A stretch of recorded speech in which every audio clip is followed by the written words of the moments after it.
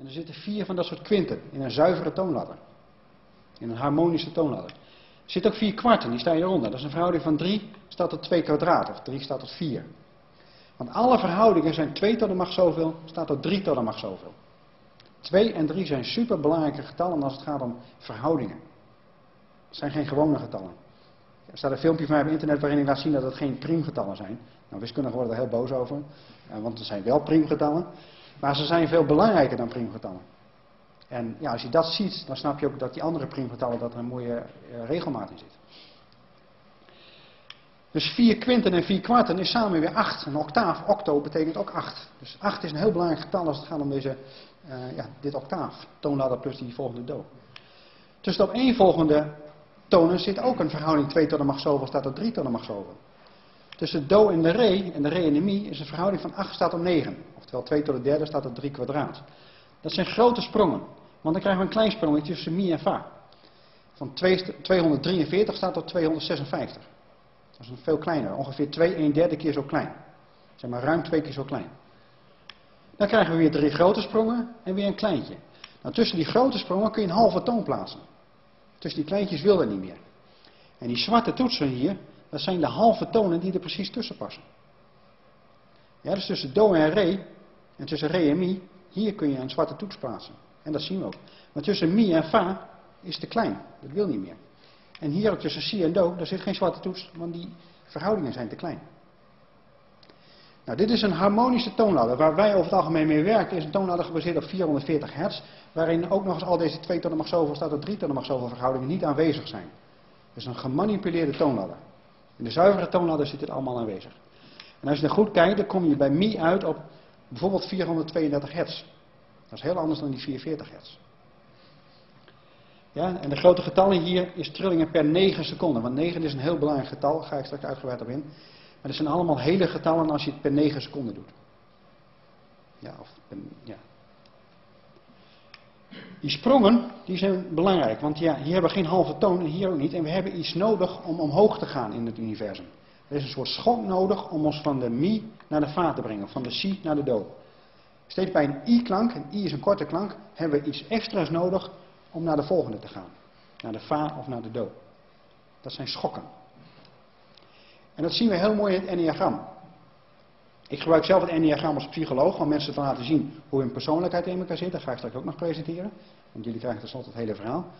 Um, maar we zien heel mooi de eerste schok hier, do, re, mi. Dan die schok, fa, sol, la, si. En die tweede schok zou eigenlijk hier moeten zitten. Het enneagram zit hier. Nou, veel mensen vinden het heel moeilijk om dat te begrijpen. Maar dat betekent dat die schok hier ingezet wordt. Maar die heeft hier pas effect. Ja, dus hij zit, hij zit hier, maar hier grijpt hij pas aan. Ik ga straks laten zien wat dat betekent voor onze geschiedenis. Want we krijgen straks in 2011 die negatieve schok. Ik laat ook zien wat die positieve schok is geweest. In onze vierde scheppingsronde komt allemaal nog. En ik laat zien waarom die hier is begonnen, met feiten. En ik laat zien wat hij straks gaat doen, ongeveer.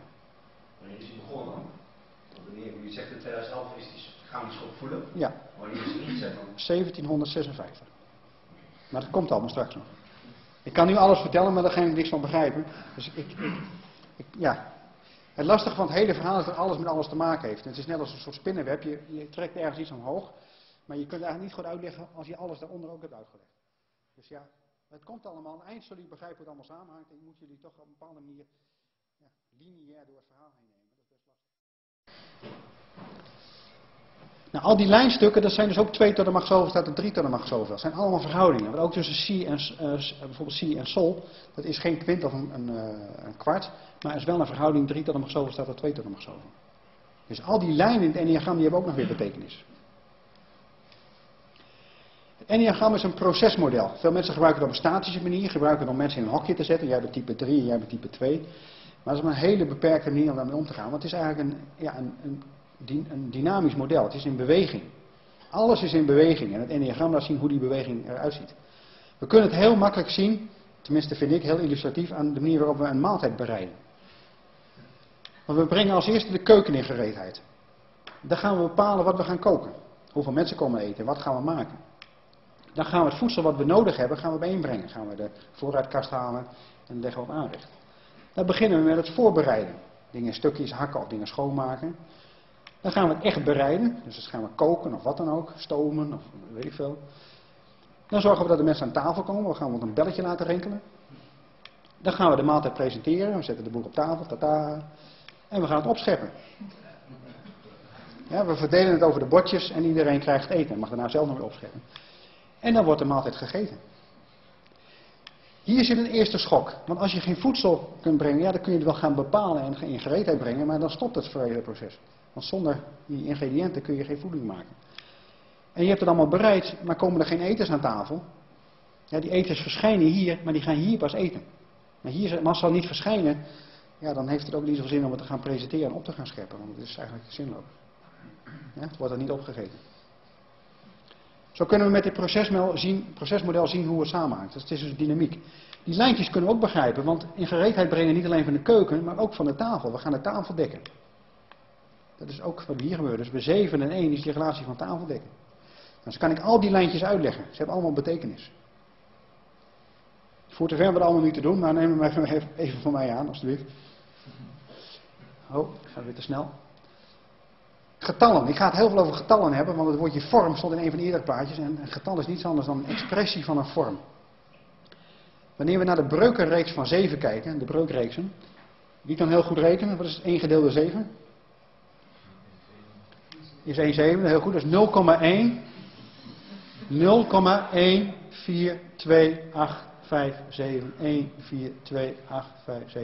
tot in een oneindige. En 2 gedeeld door 7 is 2, 8, 5, 7 enzovoort. En ook al die andere. En 7 gedeeld door 7 kun je er zelfs meenemen. 7 gedeeld door 7 is 0,9999999. Ja? Net geen 1. Nou, beetje flauw, maar 999 tot in het oneindige is ook 1, 7 gedeeld door 7. Ja, en 3 en 6 doen niet mee in dit verhaal. Die zien we hierin terug. En daarin zien we de tafel van 6. 1 keer 6 is 6, 2 keer 6 is 12, maar als 1 en 2 optellen krijgen we 3. En 3 keer 6 is 18 en 1 en 8 opgeteld is 9. 4 keer 6, 24, 2 plus 4 is 6. Tot in een oneindige gaat hij door. Ja, gaat misschien te snel om het allemaal te volgen, maar reken het uit maar Dus daar zien we die, ja, die tafel van 6 in terug. We kunnen het ook op deze manier weergeven, want dit is de manier waarop we het op een rekenmachientje aantreffen. 1, 2, 3, 4, 5, 6, 7, 8, 9. Je kunt het ook omdraaien. Als je je mobiele telefoon pakt, dan is het andersom. Dan heb je 1, 2, 3, 4, 5, 6, 7, 8, 9. Het is precies hetzelfde. Alleen net andersom. En dit legt wat makkelijker uit. En als we dan kijken naar 1, 4, 2, 8, 5, 7.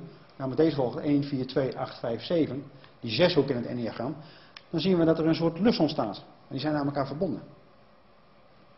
Heel bijzonder. En die andere driehoek die er niet aan verbonden zit, is een, lijn die oneindig lang doorgaat.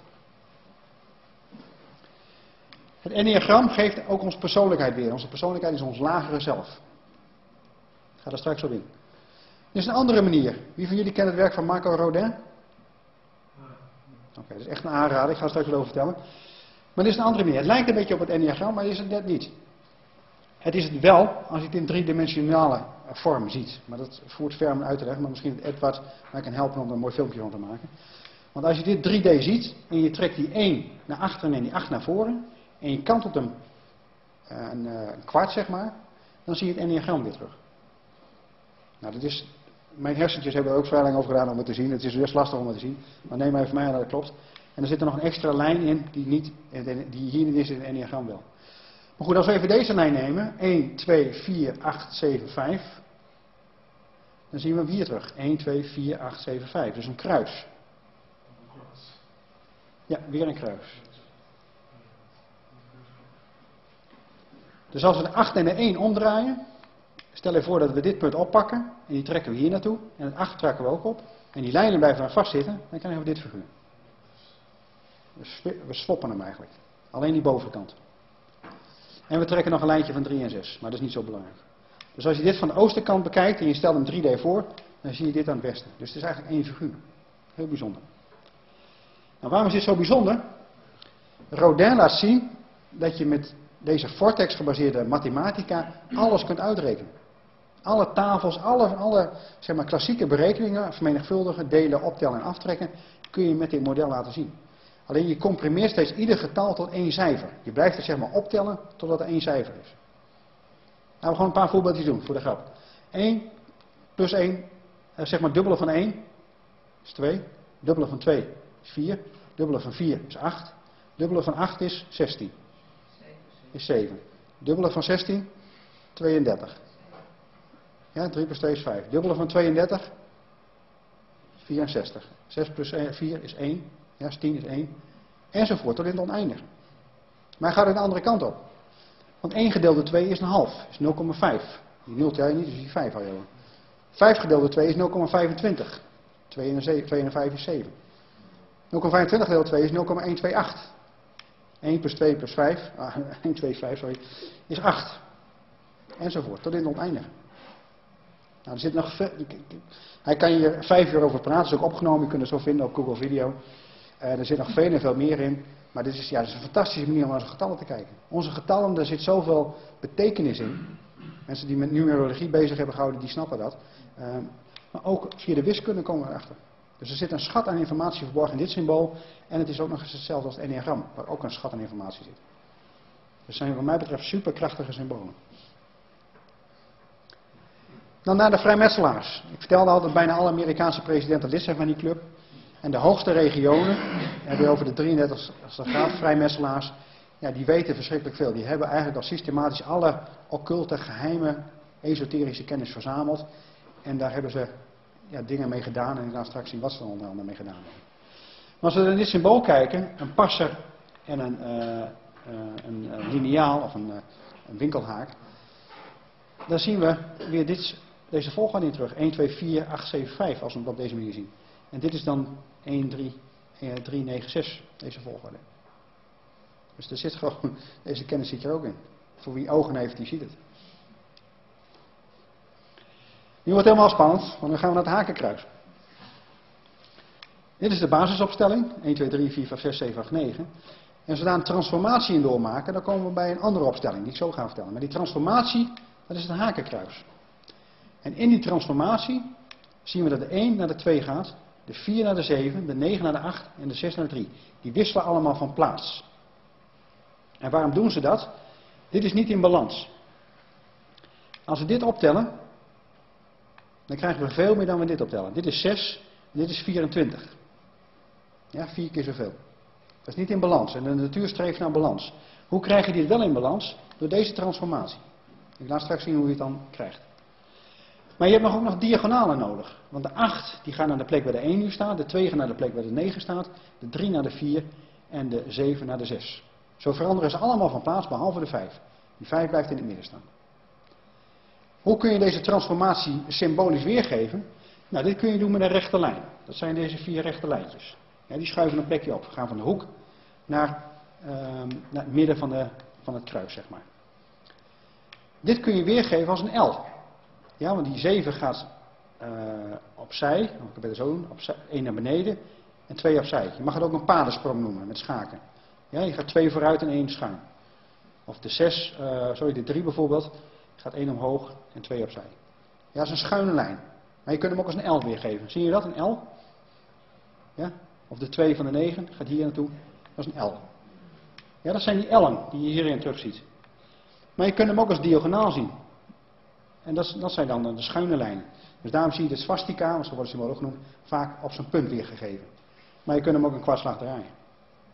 Ja, zo zien we hier dus eigenlijk vier L'en in en vier streepjes. Hakenkruis. Ja, duidelijk? Wat krijgen we dan? Dan krijgen we deze opstelling.